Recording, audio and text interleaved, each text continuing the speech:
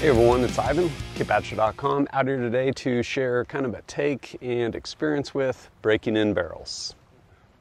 Recently I had the good opportunity to go out and visit my buddy Matt Yore, Sawtooth Rifles, and incredibly talented gunsmith, engineer, and I think he's probably made probably over 400 custom rifles at this point.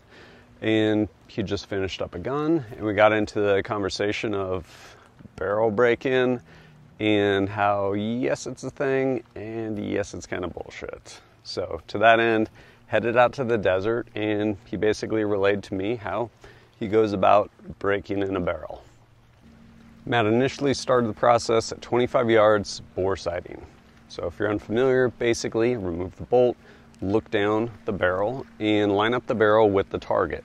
Again at about 25 yards and then dial the scope so it is also lined up with where the barrel's pointed and this way easier to accomplish on a tripod if you're shooting off a tripod because you're not trying to adjust rear bags with a bipod up front, something along those lines. But once he felt pretty dead on, broke one shot, was right there on paper, and it was time to move back to 100 yards.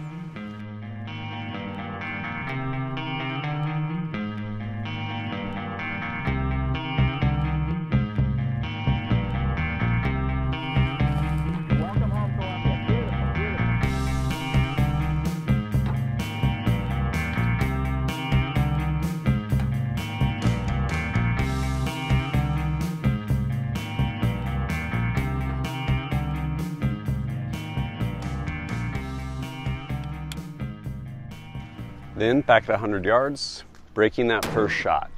Initially, seeing where that impact was, again, on paper, because it bore sighted initially at 25, and then basically using the subtensions inside the reticle. So looking at where it impacted, like, all right, cool, need to come, like, down three mils, left 1.5 mils. After that, started shooting an initial group. Was it a cloverleaf? No, it wasn't. Show it to you in a minute. But after shooting that initial group, again, figuring out kind of where the center was, refining it, and shooting the second group to basically confirm the adjustments that you'd put on the scope. And at that point, like, all right, cool, we got a group. Was it the best group ever? No, it wasn't. Here it is right here. It was the first group, basically the the uh, I think second third, fourth, and fifth shots out of the barrel. Then I switched to this target and was doing this this group. I think I pulled that one. Um, that's basically just more rounds on the barrel. So I mean, like, I can shoot way better than that. Quarter him away with my Mosin. Awesome, man. Keep in mind, this is a new gun, and with that, it's a new gun. Largely the limitation of any gun is the shooter, but when you have a new gun, it's a different stock, a different trigger, a different gun. This one happens to be a 6.5 PRC, but don't get wrapped up in it. All we're trying to do is establish a zero, because big picture, the barrel is going to end up changing, but we need to establish a zero with the gun, which was accomplished. After that, it was time to move on and get some velocities. Matt, using a special mount, set up his magneto speed so he could chronograph without actually hanging it off the barrel. So it wasn't going to change the impact of the round. And once that was accomplished, basically, why not have fun with it? Because shooting can and should be fun. So rather than just shooting at paper at 100 yards, why not reach this thing out? So we had set up some steel earlier and lasered it probably about 350 yards. Took kind of an average speed, like off the box, plugged it into a ballistic app just to get kind of a starting point as far as what we need to dial and start breaking those first shots.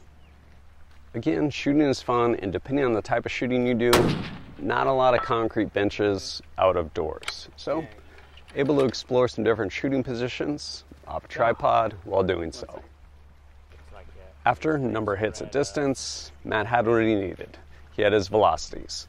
Five shot average, and taking that information was able to then transfer it into a ballistic app, essentially creating a profile for that gun with that bullet, that entire setup, so that coming out the other side, after he paired it with his Kestrel, he would then be able to use his Kestrel, independent of like the phone ballistic app and get ballistic solutions at distance. But basically, to prove that out, decided to move even further back and do a little more shooting with that gun.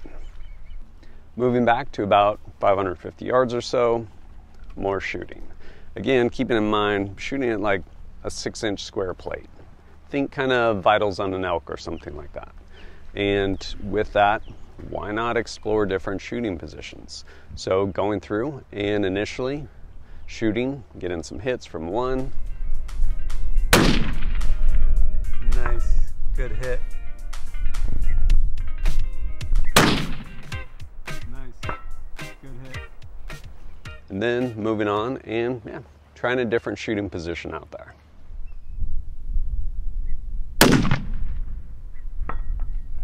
Nice, good hit. Cool.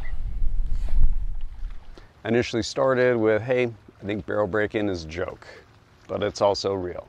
What do I mean by that? Well, the barrel will change. First, like 20, 40 rounds or so, it'll change a little bit. You're gonna have copper build up in the barrel, you maybe have your velocity increase a little bit. Like, that's a real thing. And we were out there, shot probably about 30 rounds.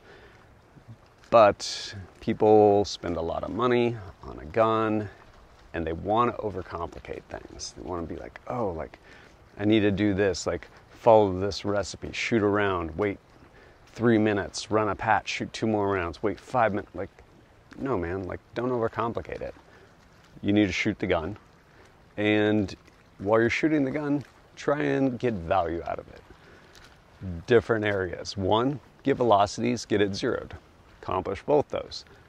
And have fun. Like, shooting should be fun. So, if you're just to shoot a bench rest gun, do your thing, man. Shoot it off a bench rest. But if you're going to do other stuff with your gun, like go do that other stuff with your gun. Have fun with it. Shoot from challenging positions, whatever it may be, but actually get value out of the experience and enjoy it. It doesn't need to be this like strict recipe thing. Big picture, you're going to shoot bullets through the barrel. So, make the most out of that. Not only getting your information you need as far as velocity and zero, but go have fun with it. Or just do whatever you want to do and overcomplicate it. Up to you, man. But had a great time out there shooting Matt Yore from Sawtooth Rifles. And as always, thanks for joining us at kitbadger.com. Look forward to seeing you next time.